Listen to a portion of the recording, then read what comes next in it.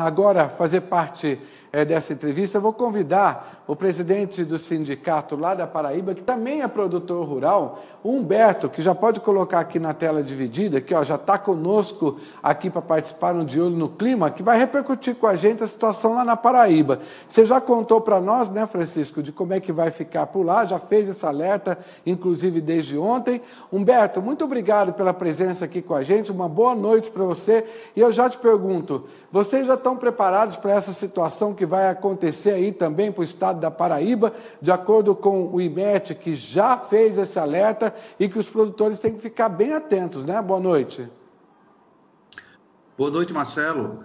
É, na verdade, é, a gente está no Cariri da Paraíba, na área de, de transição entre o Cariri, a região do Cariri e a região do Seridó. E, na verdade, a gente está precisando dessa chuva. A gente vem num período de seca muito forte. O mês de abril praticamente não choveu nessa região. E essa chuva, de certa forma, ela é muito bem-vinda. Haja vista que alguns municípios vizinhos do nosso, aqui nós estamos em Juazeirinho, alguns municípios vizinhos nossos aqui ainda tinha registrado é, é, índice pluviométrico de 100 milímetros, o que é muito pouco para a gente conseguir implantar algumas culturas aqui na região. Ou seja, está faltando chuva aí para essa região, principalmente onde vocês estão, que é Juazeirinho, né? Aí na Paraíba, conforme você colocou muito bem. Francisco, como ele já destacou, a gente sabe que está vindo esse alerta que preocupa os produtores. Mas para essa região em específico, o Humberto colocou aqui para nós. Para lá, vai ter fortes chuvas? Os produtores se preocupam ou vai ser benéfico? É, realmente, na, na, região que ele fala lá do Cariri, né, a chuva não chega lá, não. A, a, chuva só chega mais ou menos até a Serra da Borborema, ali Campina Grande, né? Mas em Campina Grande a chuva já, já chega bem fraca, né? A chuva forte mesmo se concentra no leste da Paraíba, zona da Mata, né? Ali a região de João Pessoa, indo até o Brejo. Quando vai já para o Cariri, essa chuva quase não chega mais lá no Cariri. Às vezes chega de uma maneira bem fraquinha lá, em áreas isoladas, realmente, Marcelo, como ele está falando ali. Humberto, então, na realidade, vocês querem que a chuva venha, né? Pelo que o Francisco falou aí, amigo, eu sinto te dar essa informação que, infelizmente, vai ter que aguentar mais um pouquinho, meu amigo. Aí os produtores da região vai ter que, ó, ter um pouquinho mais de paciência. E aí eu te pergunto, quais são as culturas aí que estão sendo mais prejudicadas? Estão precisando aí mais de chuva mesmo. Qual é a situação que vocês têm no momento?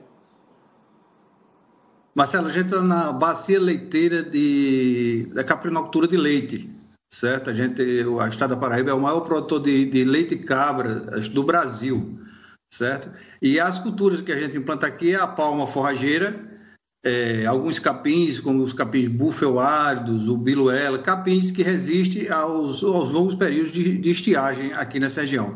Mas nesse mês de maio teve índices pluviométricos muito bons, é, teve regiões que registrou 160 milímetros de chuva, como foi o caso de Cabaceira, numa chuva só, e está no Cariri. É, normalmente não existe esses índices de chuva é, no mês de maio aqui nessa região. E essa chuva foi muito bem-vinda porque, porque deu para recuperar algumas culturas e principalmente é, aumentar a umidade do solo para a cultura da palma forrageira, que é a principal cultura aqui, é que na, na verdade a palma forrageira é quem segura os rebanhos aqui nos períodos de estiagem. Sim, Francisco, você viu que ele destacou muito bem, né? Para isso a gente precisa de chuva, né? A gente consegue fazer uma previsão, Francisco, quando mais ou menos pode chegar essa chuva para ajudar, os nossos amigos produtores dessa região? No domingo e na segunda-feira vai chegar chuva para ir lá, para essa região lá do Cariri dele, lá de Juazeirinho, de Solidade, ali pegando chuva, devendo pegar até a região de Patos também. Não são chuvas intensas, né? Mas são chuvas até para essa época do ano, até de maneira boa, né? Como ele falou ali, em Cabaceira, né, que é a cidade que menos chove no Brasil, a região que menos chove no Brasil, choveu 170 milímetros em um dia, né, Marcela? A média do ano é de 300 milímetros. Em um dia só choveu 170. Veja que a diferença foi muito grande, muito bem significativa, né? E também, então, a gente tem uma boa notícia para ele aí, que no domingo e segunda-feira deve ter chuvas para a região dele lá, pegando a região do Cariri. Bom, então já é uma notícia que já dá para os produtores se planejarem, né, Humberto? Já sabendo que essa chuva já vai chegar, já dá um certo alívio, né, meu amigo?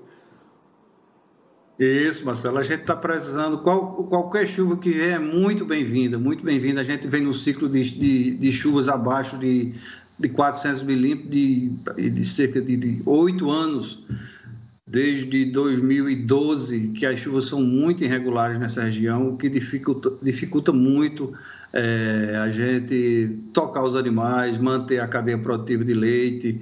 Na verdade, qualquer chuva que vier é muito bem-vinda aqui para essa região. Ô, Humberto, eu já tive nessa região fazendo leilões de caprinos e ovinos e era realmente um período muito forte ali na época de 2008, 2009. Era um período que você deve se lembrar muito bem, em que se vendiam muitos caprinos. Leilões eram assim fortíssimos né?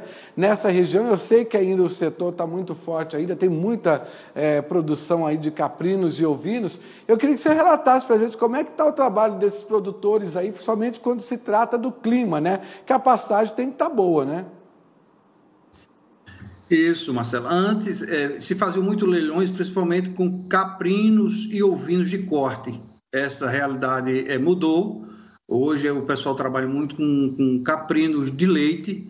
É, Existem programas do governo do estado que compra a produção é, desses, desses agricultores e, de certa forma, mantém, mantém essas famílias no campo e gerando, gerando emprego e renda. É, mudou um pouco em relação à atividade, que passou de corte, de corte caprino, para leite. E, mas é, atualmente é, existe uma possibilidade, já alguns frigoríficos já se preparam para se começar a trabalhar com o ovino de corte, o que vai também impulsionar muito a cadeia produtiva é, desses animais aqui nessa região. É, isso vai ajudar bastante, né? Porque aí, voltando isso, os leilões também em volta, eu lembro que eram grandes negócios que eram feitos aí com os, os caprinos de corte e eram leilões importantíssimos, né? Movimentava aí feiras é, da região. Depois deu uma queda, mas agora voltando também. O Francisco, que é lá da região, conhece muito bem, já foi para lá, né, Francisco? Sabe que essa produção é muito importante, é uma cultura excelente para aquela região. Os produtores gostam muito e precisam de gestão do clima, né? É, exatamente. Toda vez, toda vez que eu vou para lá, para Paraíba, eu tenho que comer bode, né, Marcelo? Porque o bode realmente é que é o principal de lá. É, é muito bom. Eu já experimentei também, viu? Mas quando eu voltar para essa região aí, você vai ter que fazer para nós, viu, Humberto? Aí, ó. Diz que é muito bom. A buchada aí é maravilhosa, né? É isso mesmo, que é o prato típico, né, Humberto? Ah, tranquilo, avisa quando chegar aqui que a gente prepara uma buchada, uma costela de bode, uma costela de carneiro aqui para vocês e é, é, muito gostoso, é muito delicioso. É, a gente espera vocês por aqui. Com certeza, vamos passar por aí, isso aí não nos escapem. Humberto, obrigado pela sua participação, por nos mostrar como é que está o panorama aí para a região de vocês, viu? Até uma próxima oportunidade aqui com a gente. Sempre que puder, participa com a gente aqui, viu? Eu sempre acompanho vocês do AgroMais. Que bom, a gente fica feliz. Boa noite para você. Boa noite, saúde para todos nós. Francisco,